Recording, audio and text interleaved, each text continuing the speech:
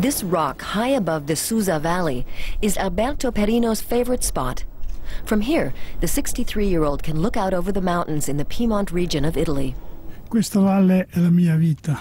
This valley is my life, and my children's lives, and that of my forebears. It means everything to us. I wouldn't give it up for anything.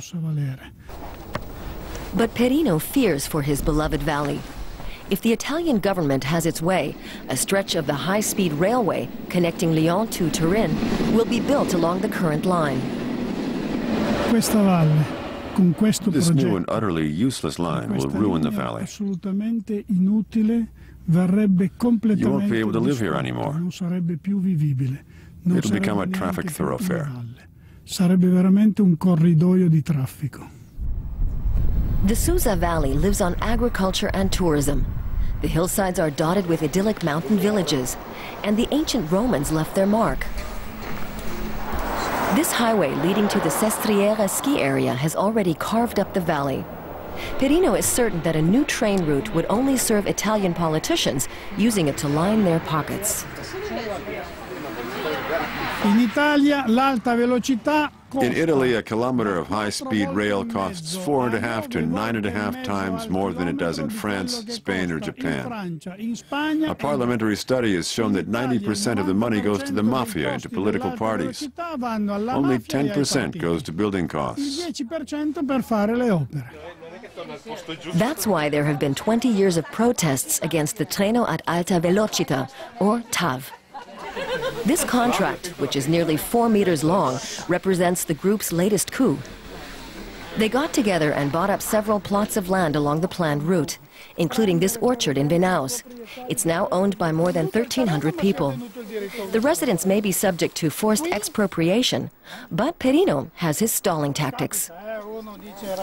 Possono pubblicare If they want to take our property, they have to publish their intentions in several newspapers. giornali locali, poi metterlo nell'albo pretorio del comune. But they can't make a single error with our data. Not stare in our names, our birth dates, our tax numbers or addresses. Non devono sbagliare una If they do, they have to start all over again. sbagliare un codice fiscale, un indirizzo, perché sennò si ha diritto di invalidare tutto.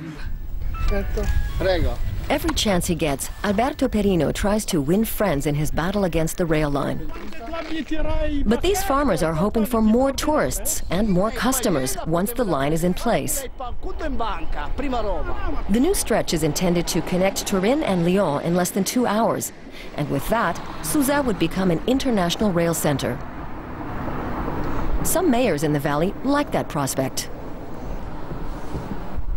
Un, eh, dei sacrifici di noi valigiani I would hope the train brings economic progress. economico, ovvero che non portasse We need a comprehensive strategy in order to improve the economy, and at the same time, the living conditions in the valley.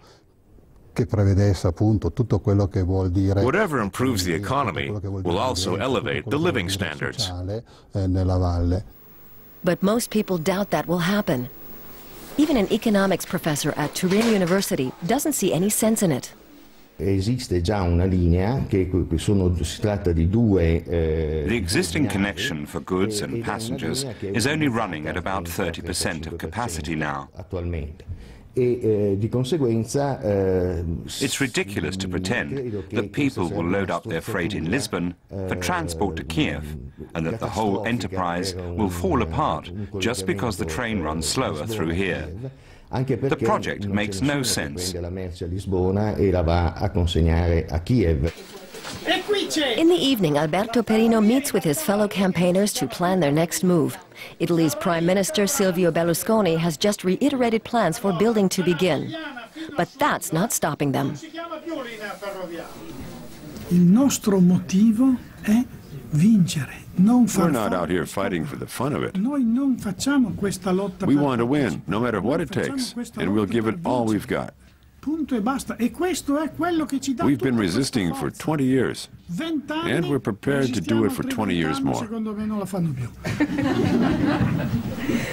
Accept defeat? That's out of the question.